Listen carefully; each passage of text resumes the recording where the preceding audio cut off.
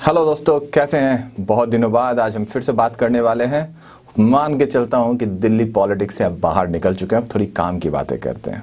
तो आज का मेरा टॉपिक है कि अगर आप कंपनी चलाते हैं, मैं कंपनी की बात कर रहा हूँ, केवल केवल कंपनी की बात कर रहा हूँ। अगर आप कंपनी चलाते हैं तो अभी हमारे फाइनेंस मिनिस्टर ने, बहुत अच्छा जो महिला फाइनेंस मिनिस्टर है हमारी देश की, उन्होंने एक अनाउंसमेंट किया कि अब आपको टैक्स बेनिफिट मिलने वाला है। बहुत अच्छी बात थी। तो आज मैं हिमांशु कुमार, आज मैं इस टॉपिक पे बात करने वाला हूँ कि ये क्लेम आप कैसे लेंगे? ये ना समझे कि केवल अनाउंसमेंट हो गया और ये बेनिफिट आपको मिल गया।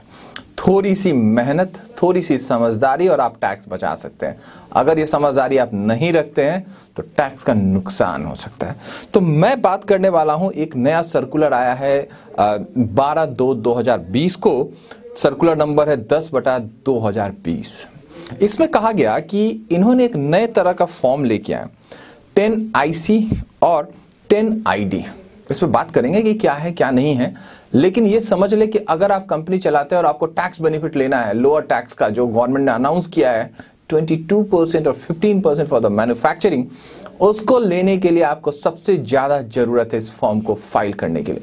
तो हम डिटेल में बात करेंगे और ये भी बताएँगे कि ये फॉर्म कहाँ है, कैसे फ़ाइल करें और क्या क्या पॉइंट ध्यान रखने की ज़रूरत है। तो सबसे पहली बात कि एक नया सेक्शन है 115 B double A one hundred fifteen B double A ये वैसी कंपनी, डोमेस्टिक कंपनियों के लिए हैं, जो पहले से हैं कंपनी, और उनको इस बेनिफिट लेना है, और उनका टर्नओवर 400 करोड़ के नीचे है। तो आपके लिए जो टैक्स रेट है, वो तो कम हो गया, लेकिन आपको उसके लिए 115 बी डबल ए में क्लेम करना होगा। साथ के साथ एक फॉर्म है 10 आईसी टेन आईसी आपको फ़ाइल भी करना पड़ेगा। इलेक्ट्रॉनिकली आपके डिजिटल सिग्नेचर के थ्रू या ओटीपी के थ्रू भी आप कर सकते हैं। अभी है क्या?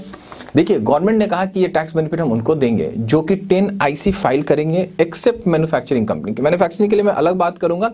115 बी ए बी उसमें अलग बात की गई है।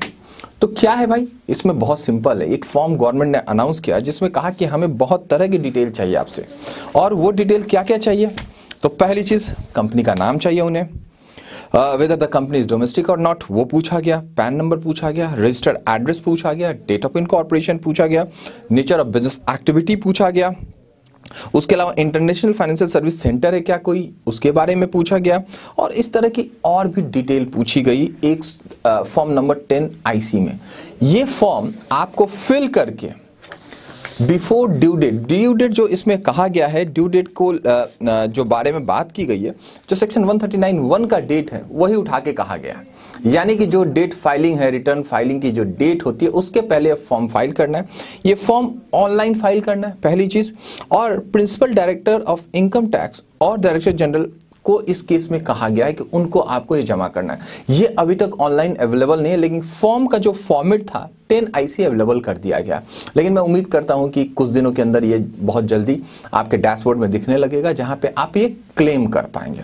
दूसरी चीज़, ये थी बात उनके लिए जो कि कंपनी चलाते हैं एक्सेप्ट मैन्युफैक्चरिंग अगर आप मैन्युफैक्चरिंग के अलावा हैं, तब ये आपके लिए अप्लीकेबल है अदरवाइज़ नहीं है। अब इसका बेनिफिट ये है कि अगर आप ये फॉर्म फ़ाइल कर देते जो आपका नेट टैक्स होगा 25.17 ही होगा। इस रिटर्न फ़ाइल करने, इस फॉर्म को फ़ाइल करने के बाद। क्यों? क्योंकि टैक्स रेट रिड्यूस कर दिया गया था। अब अलग तरह के सेस और चार्जेस हैं, उसको मिला के 25.17 टैक्स आपका आएगा। दूसरी चीज़, अगर आप ये फ़ाइल नहीं करते हैं तो ये बेनिफिट आपको अवेल नहीं कर पाएँगे। अब हम बात करते हैं वैसी कंपनी वैसी कंपनी जो कि मैन्युफैक्चरिंग में उनके लिए रेट 15 परसेंट का है लेकिन वो भी रेट आपको अगर देखें ग्रॉस अप करेंगे तो 17.01 के आ, के पास आएगा। अब इनके लिए क्या कहा गया? इनके लिए एक नया सेक्शन लाया गया। 115 बी ए बी और इनके लिए एक नया फॉर्म दिया गया फॉर्म 10 आईडी वो भी आपको दिखेगा। उसमें भी अप्रॉक्सीमेटली प्रोसीजर सेम है।